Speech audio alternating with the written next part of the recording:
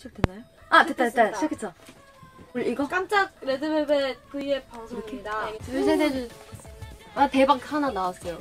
대선에 갔다 왔는데 이제 못 이제 지방에 계셔서 만날 수 없었던 팬분들을 이렇게 만나게 돼서 너무너무 행복했고요.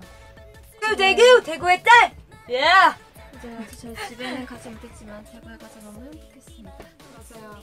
사투리를 듣고 싶어하는 분들이 많으셨는데 어, 되게 사투리 많이 듣고 왔어요 어제. 언니의 가족분들이랑 맞아요. 언니의 집이랑 다 가고 싶었는데 좀 짜- 시간이 너무 짧았던 것 같아요.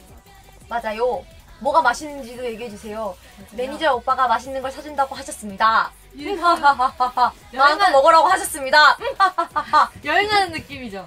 수학여행 느낌. 진짜. 진짜 미안해. 어, 네. 네, 안녕하세요. 미안해요, 미안해요, 미안해요. 괜찮아요. 미안해요, 진짜 미안해요. 방송 사고. 아, 방송 사고 미안합니다. 미안합니다. 아직 출발 전인데요. 네. 말 한마디. 팬분들께 사랑한다는 뭐. 아, 어. thank you guys. Um, um, love you. We always love you. Thank you for supporting us. Yes, us.